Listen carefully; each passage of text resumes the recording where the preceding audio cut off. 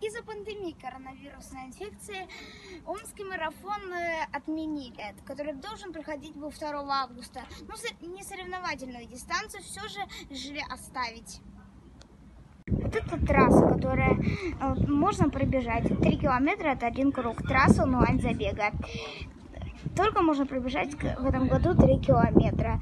Здесь можно получить регистрацию и место, место для выдачи памятной атрибутики. Выглядит медаль. Есть место, чтобы сфотографироваться.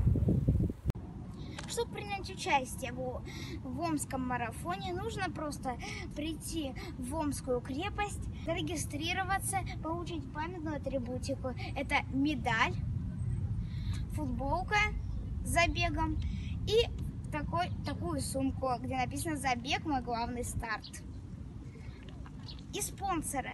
А спонсоры этого марафона РЖД, Почта России и ПСБ.